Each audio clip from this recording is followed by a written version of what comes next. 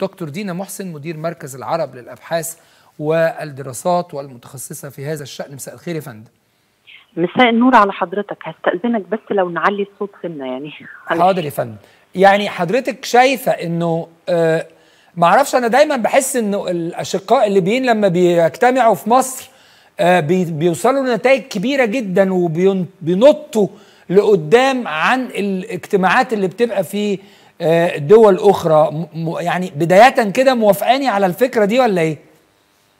آه بالتأكيد. يعني آه ده شيء واضح للجميع شيء واضح للعيان وللمهتمين بالشأن الليبي وللمتابعين للقضية الليبية أو الأزمة الليبية آه إن مصر بتقوم بدور تاريخي.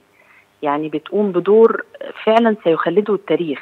أي. يعني ليس فقط من أجل ال show الإعلامي أو ال show الدولي ليس فقط من أجل مصالح شخصيه مصر ليس لها أي مصالح شخصية ذاتية في ليبيا أي. ولا حتى عشان فكرة التأمين الحدود لا ده إحنا بنحاول نصلح م. بنحاول نصلح ما بين فرقاء بنحاول يكون في تقدم في العملية السياسية في ليبيا ده صحيح آه ده يعني خوفا على الشعب الليبي ده صحيح. حبا في الشعب الليبي. والحقيقة كمان يا دكتور لما مصر بتضمن آآ آآ تخوف معين عند عند فصيل ضد الآخر فعلا ده بيتحقق وده بيدي فرصة وبيسهل. إيه أهم المخرجات اللي طلعنا بيها من 12 ل 20 6 صحيح يعني طبعا حضرتك عارف إن يعني الجولات الماضية الخاصة بالمسار الدستوري اللي انعقدت في القاهرة.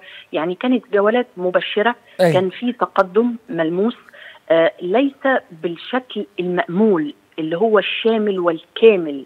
لأن العملية الشاملة والكاملة للاتفاق السياسي وللتوافق على القاعدة الدستورية واستكمال مواد الدستور وتجنب المواد الخلافية إنه ده يحدث في في بضعة شهور فده أمر شبه مستحيل. حضرتك بتتكلم في عشر سنوات من الانقسام والحروب م. والتدخلات أو أكثر كمان من عشر سنوات فبالتالي يعني ده تقدم كبير جدا. آه مش بشكل كامل ولكن تقدم كبير جدا إلى الأمام.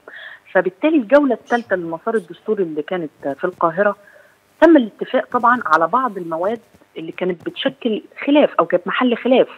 ودي مواد مهمة جدا يعني أو نقاط مهمة جدا آه اللي هي خاصة بالانتخاب وصفة ال ال المنتخب و و والمتقدمين للانتخابات الرئاسية وما إلى ذلك. وسن الله يخليك يا دكتور علشان ما يرجع لناش اذناب النظم السابقة.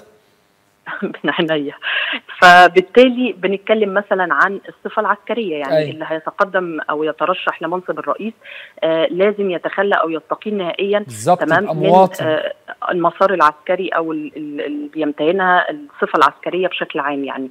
الحاجة الثانية برضو أو النقطة الثانية مزدوج الجنسية إن يكون في شرط التنازل عن الجنسية الأخرى غير الليبية عند الت... يعني التقدم بأوراق الترشح. هايل. تمام؟ هايل. وفي نفس الوقت عشان يبقاش واحد داخل ويقول لك أنا كده كده هجري على بريطانيا لو خسرت يعني ويبقى مصالح بالزبط. ليبيا هي اللي ضايعة في الآخر.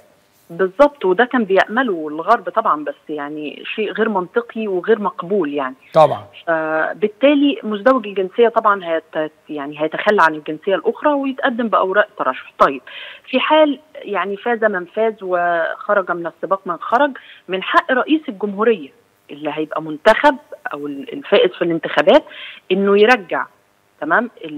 المرشحين اللي كانوا استقالوا من وظائفهم العسكرية أو أو أو يقدر يرجعهم لمناصبهم مرة أخرى. تمام. ده بيعمل نوع من أنواع الحماية أيضا طبعا. للشخصيات اللي ذات خلفيه عسكرية اللي هتكون موجودة في سباق الترشح لأن ده كان أمر طبعا أو طبعا مخيف. أهو ده بقى مخيف على أمن ليبيا لأنه لما يبقى عندي لواء مهم في الجيش وهيستقيل ويترشح بعد كده أبقى أنا خسرته في مكانه لو ما كسبش. صحيح هو مش لواء هو هيبقى وزير دفاع اللي هيترشح يعني. خلينا نقول يعني نتكلم عن الرأس. ندي أمثلة يا دكتور. مش عايز اقفز للاسم على طول طيب الرؤية المستقبلية اللي موجودة عند حضرتك أو الاستراتيجية عندنا مصالحة وطنية ليبية الخميس المقبل.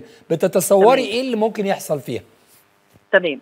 آه يعني برضو مش حابة نكون دايما إحنا لازم يكون عندنا أمل لكن ما يكونش باقة الأمل كاملة 100% لا لازم نضع ولو 10% آه يعني ممكن يكون في خارج سياق الأمل زي ما بنقول آه ففي اتفاق على انه يكون في مصالحة. تمام. تمام؟ مصالحة شاملة وكاملة. تمام. لكن في بعض الأطراف حتى هذه اللحظة اللي بنتحدث فيها أي. يعني بيعملوا خارج مصلحة الوطن وخارج مصلحة ليبيا بيعملوا لمصالحهم الشخصية.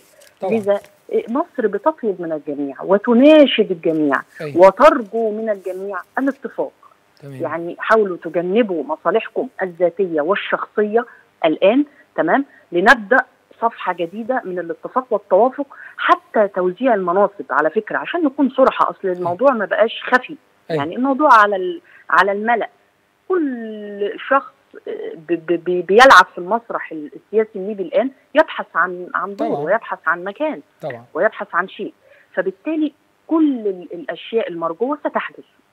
يعني كل واحد هياخد اللي هو عايزه. ولكن ما يكونش ده رقم واحد. ده يكون رقم اثنين صحيح. رقم واحد مصلحة ليبيا مصلحة والشعب الشعب. بشكرك يا دكتور جدا على وجودك معانا دكتور دينا محسن مدير مركز العرب للأبحاث والدراسات. شكرا جزيلا.